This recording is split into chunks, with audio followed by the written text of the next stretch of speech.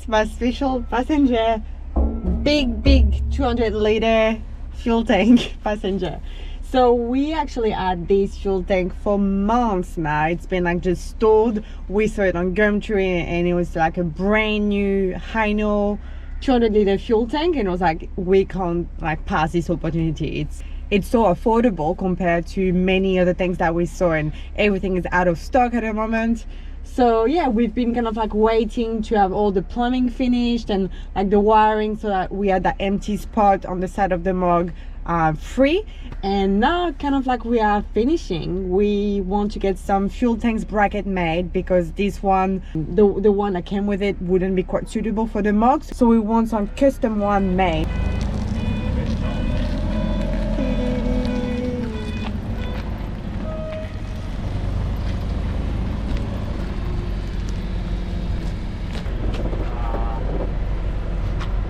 Tines won't hit anything. They won't hit anything? No. Oh, maybe. I'll slide it forward actually, just to be safe.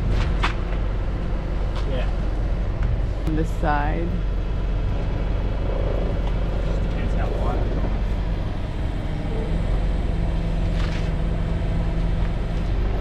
These are up yeah like that's pretty good.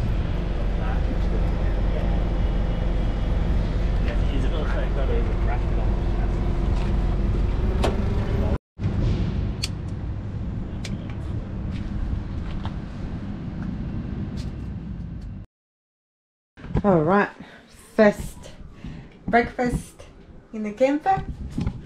We're gonna test the induction all right fry we don't need that high. Well that is exciting. I love it.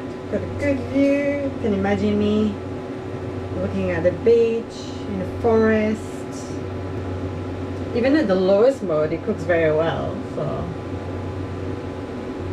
Saying we're still at 99% battery, so we've almost cooked breakfast. Or is this just my breakfast? Just Okay, mine we've almost cooked Ange's breakfast. it's using 32 amps. Oh, stop doing. Stop kicking. Well, breakfast is almost cooked. And the fan on the inverter is switched off, which is cool. Yeah. So it says status charging. Is that still on? So that's still on cooking. Yeah. You sure that's cooking still? Yeah. Yeah. Consider heat. Okay. So it says it's not discharging anymore. Because you must have reached maybe temperature. And not using as much. It's definitely cooking. Okay, I'll put the higher temperature. Okay, kick back to put the temperature. Must have switched off.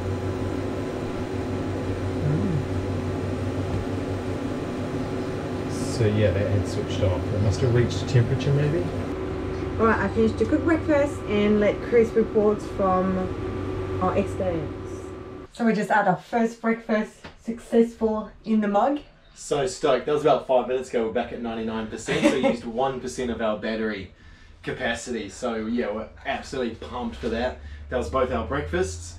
So induction is very much looking like a thing for us, which is awesome. It's amazing. It was so stressful. We kind of like started to think, oh, like we're never gonna be able to cook, and like maybe we'll have to have definitely have a backup of gas. But now, like it's really making us feel confident about our choice, which is great, especially for like such a cheap unit. So really pleased.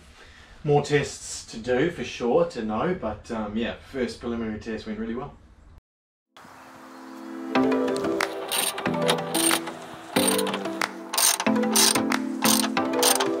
Okay, the little 10 litre tank is mounted for the diesel heater. Ended up putting it on this rear mud flap. Seems to be a pretty good place for it. It fit really well. It was easy to modify. It didn't fit so well on the toolbox. So um, got it there. It's nice and protected by the wheel. Uh, this doesn't stick out proud from the truck much. So um, and it's on the same side as our 160 litre tank. So we just filled that up. So that was good. Uh, I've got it all plumbed in and made some adjustments. Now the fuel pump is under here on an angle, so it pushes the fuel up. Turned the filter around, and um, yeah, time to give it a test. We've also put this Car Builders exhaust wrap on it, which has brilliant reviews. So hoping that'll keep the temperatures down from the exhaust, especially inside. And I just need to get another cable clamp to add that there, making sure that weep hole's at the bottom and um, we're good to go. So I'm going to test it now for the first time. this will be interesting, yeah. Good therefore it's 33 degrees. Yeah. so the diesel heater itself came with its own little 15 amp MIDI fuse. We've added another MIDI blade fuse as well on our Enerdrive side of things. So we've got two fuses kind of as backup. Diesel heater screen is going to be down here. That'll be mounted on this wall. And um, that should be nice and easy to get to. This is what the heater is looking like now. So we've got that wrap going all the way down. I'm going to probably fill that gap with filling foam. I think that'll be the best idea. And then the actual diesel line goes straight through the floor along with the cable that plugs into the pump. This will be attached on there with some clamps and probably come out about here in the center. I think that'll be a good place for it. And I can access the diesel heater easily from up top. Man, the flies. Alright, so um, I'm going to switch it on. Ange, can you be in here? I'll run outside and check that there's diesel flowing and give you a yell. Um, other than that, yeah, it should be fine. Okay. I'm ready for the test. Okay, go for it. So click on power. Okay. Okay.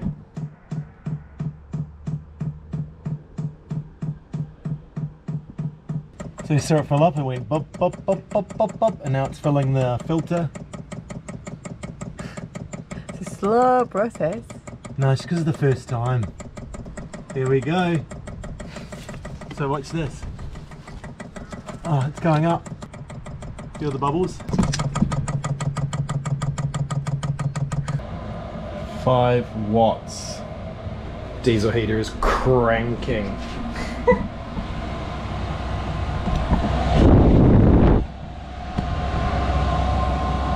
Ooh, that does get hot. Can't hold that. Alright, so that was a successful diesel heater test. We found a very useful video on YouTube, luckily to follow step by step because the manual is really Garbage. useless. and we cranked it all the way to the maximum temperature, which we probably never do again because it's so hot. We'll never need that much. So very much, I guess, like a medium uh, kind of temperature or lower setting probably will be more than enough.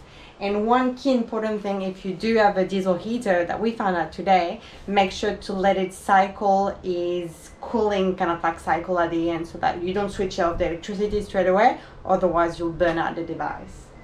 So yeah, that was a successful test. Was successful. Uh, amazed at how little power it used. I ran such thick gauge cable to the heater just in case, but I think probably didn't need to at all, but that's okay. Everything in this camper is now over thickness in terms of gauge cable, so that's only a good thing in my opinion. Um, yeah, really happy with it. The exhaust wrap got really hot, so I'm going to add even more of it, but it didn't make anything around it hot at all, which is, I guess, what the idea is. It keeps that heat in. The screen will get mounted. We've got a little like remote control key fob thing for the diesel heater as well that we can have somewhere really accessible. So yeah, really, really happy with that. That looks like we could just crank that non-stop even if we had almost no solar power. So um, yeah, happy with it. So just need to sort out the ducting and uh, that's all complete.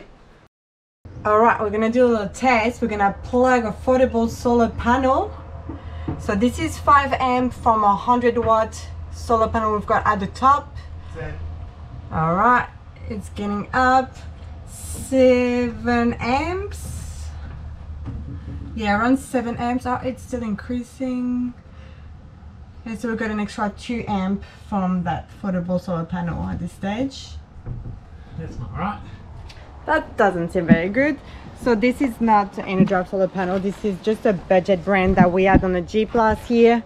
We just want to test it out. It's supposed to be 200 watt solar panel. Let's have a little look if that's better. Oh yeah, that's a little bit better. Getting 10 amps now, so another 5 amps from that panel. Still not obviously the AKA, best quality. watts. yeah, we're getting the same amount that we're getting with a 100 watt solar panel on the roof. So you can see the difference right there in terms of quality. Yeah. 200 watts going on 100 watts for sure. Okay, the good news is my It portable uh, Anderson connection works really well Yeah, connected to we this should guy. show it. Yeah, come have a look. So it just plugs straight into here, near where the earths come out.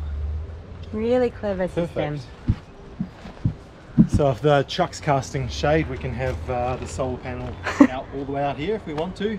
I don't think we'll really, really need to use it to be honest, but um, every little bit might help, especially if the weather's not been great. Um, yeah. I'll take it. Alright, so we're starting to work finally on a bed structure and framing, which we'll talk about a little bit later. Potentially, we just want to make more progress first. But right now, today, it's around like 32, 33 degrees. It's way too hot. And because our batteries are full, we just figure why not using the aircon inside? That would make working in much better condition. So we've got here a Truma Saphir remote. Alright, we're just gonna crank it. We're at 28 degrees in here. 28 degrees inside the camper. 28 degrees. Alright, 21 degree. I'm not too sure what temperature we want. Um, yeah. Sounds good.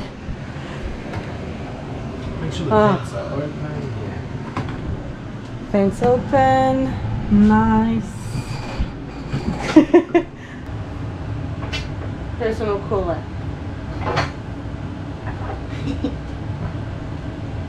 mm.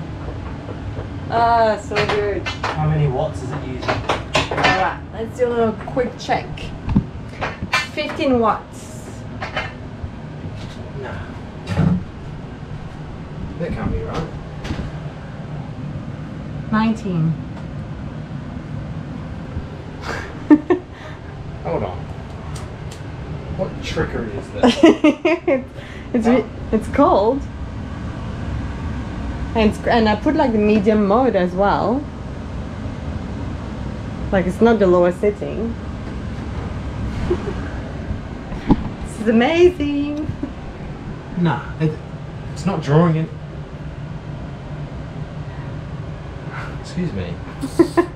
Take that as a win. off. You're running off diesel. Oh, we'll take that as a win. Eh. Who wants to do its thing and take no power? That's fine by me. Update, we spoke too fast. it does use power.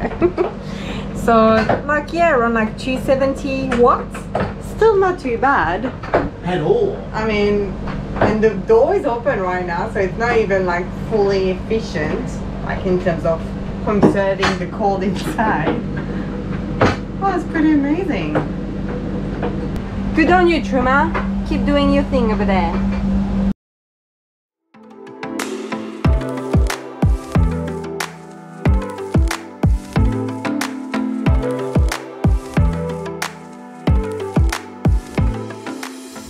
One of the coolest things from the Mog is to see the animals from outside and they can't see us.